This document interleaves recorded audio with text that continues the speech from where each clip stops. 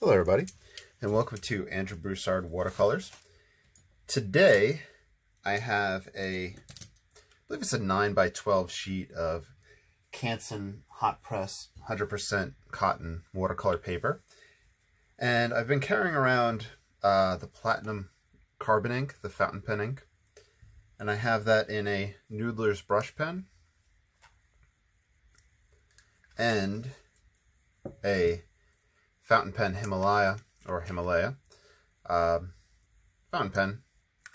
And I've been using it to kind of just uh, sketch whenever I get a free chance or, um, you know, work on landscape stuff. And in this case, work on Japanese uh, or Chinese blossoms. So this one I mainly did with the brush pen and I did kind of side strokes to get this dry brush texture. It's um fairly easy to do with the brush pen. It um, just requires a little bit of finesse, but it's very easy to achieve. And then for the most part, all of these blossoms were done with the brush pen itself. I believe this one was done with um, the fountain pen and some of the stamens. So what I wanted to do with this was kind of watercolor over it. And looking at it, I was kind of thinking not so much color it in in the sense of um, making it seem illustrative. I was thinking maybe trying to watercolor over it and getting an antique type feel. Almost as if we had done a tea wash on the paper and um, did our ink drawing on top of that. So that's kind of the goal for this one. I have a few other uh, sketches I think they're all landscape that I'm going to wash over today. And uh, yeah, we'll just try to get a variety of uh, effects to take place. So uh, with this, uh, you can see my palette on the side. Yep. I have my raw sienna. I think I'm going to go raw sienna, ultramarine, with that kind of muted gray that will take place. And I'm wondering if, just for the most part, yeah, there we go. Now this is hot press paper, and I am not adept at painting on it. Um, one of my friends, Colin Woodward, if you're in the Ron Ranson Facebook group, you know who I'm talking about. Uh, I'm not sure if he posts another group as well. He's from um, the United Kingdom, I believe. He does some really um, beautiful work on hot press recently. And he's very uh, kind of a, a tighter painter. And he's been trying to loosen up some. So I was really amazed that he was able to paint the way he did on hot press paper. I would love to get him to start doing videos. And those of you guys watching, I encourage you all to film yourself painting. And, you know, just, uh, you know, talking about what you're doing, your approach, and how um, you're playing around. It'd be fun.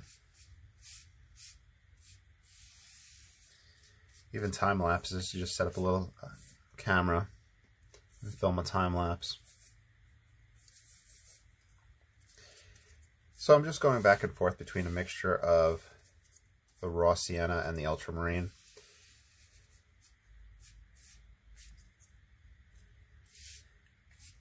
Part of me is thinking that I should leave some of these white spaces. Maybe I should have put some um, resist over the blossoms themselves in some spots. But I'm just going to go over this. I'm going to feed it in. We're not really going to go much further, I don't think. This is kind of, like I said, kind of just almost antiquing the paper with the raw sienna and ultramarine. Almost getting like a ambient feeling to it.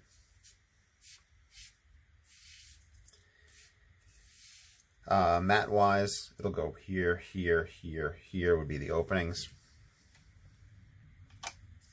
If it was to be displayed underneath.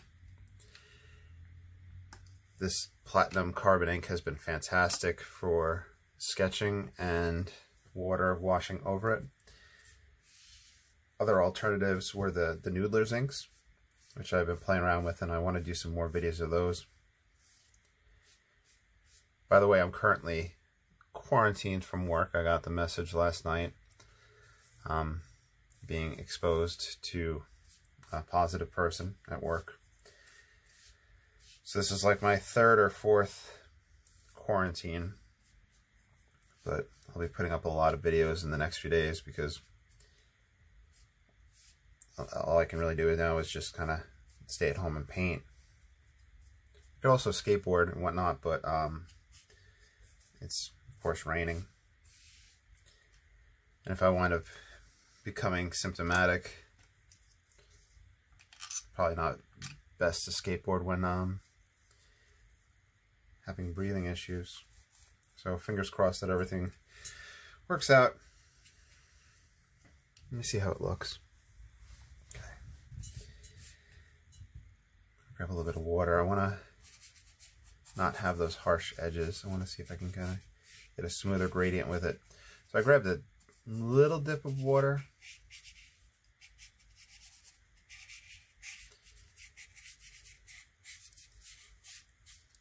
Kind of pushing around a little bit more.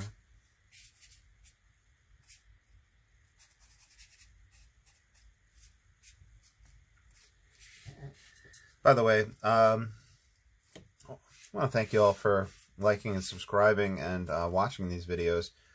Um, I feel like the channel's been growing and I've been, you know, trying different things.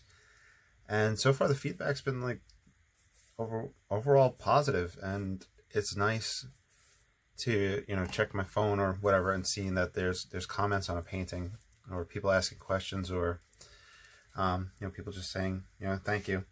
So I really appreciate that. And, you know, keep the comments coming, please. Um, it really makes my day. And, you know, when people ask, oh, do you have a video on this? Do you have a video on that? I appreciate that too, because sometimes I do, or sometimes I don't, and I can make a video from it. Or I can point you in the direction of an artist who would have something like that. So let's leave this here. I feel like I might have just pushed it to the point of a little bit too much. Let's do a dry off and we'll see how everything looks. So I just did a dry off and grabbed a little notepad. I'm going to write down that we need to do a two color experiment. Two color experiment in ultramarine and um, raw sienna. I think a full landscape using those two colors would be quite beneficial, a good um, exploration. So I think at this point I'm going to take a little bit of um, watercolor and just accentuate some of these blossoms just so we can see. Maybe this is the right direction, maybe not. Um, down below in the comments, let me know what you think if you would have stayed at this point or if you would have gone further. Also, the mixture that we use to kind of get that antique feel. What type of alternatives would you maybe have tried right then and there? Uh, I have some Quin Rose on the palette inside, and I'm taking a number four rigger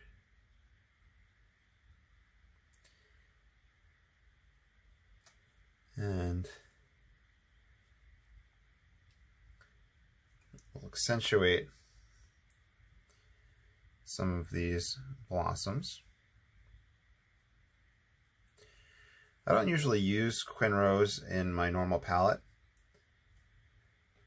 Um, it is a very beautiful color. Um, I usually use it just uh, in that two color palette, Quin Rose and uh, Phthalo Green. But I think it lends itself to this style of painting. I'm going to try not to fill these in completely, almost to kind of get little highlights on them. I could take the squirrel mop. I think we'd be able to get in enough just to kind of accentuate some spots. I do feel like adding color makes it more illustrative, which might be an aesthetic that you like. It may be something that you uh, don't like.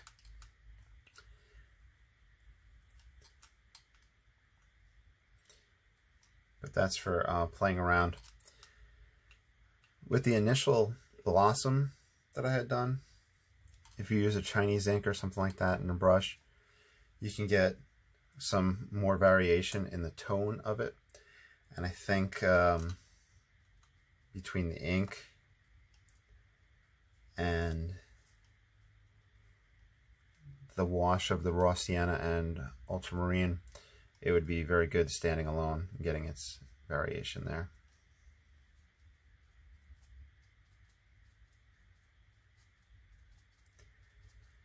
Try to get some areas that are a little bit lighter in tonal value. Get some variation taking place. And of course, we can splatter if we want. And I think we will in the interest of experimentation.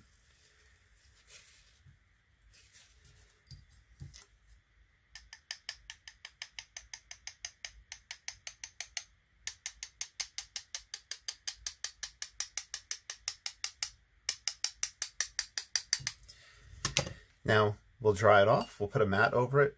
We'll see what orientation looks nice because uh, the good thing about this, before you sign your name on it, you can turn it around and see what looks best. So let me pause this and dry it.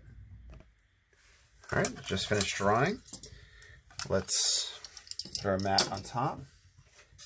This is the original orientation that I was leaning towards.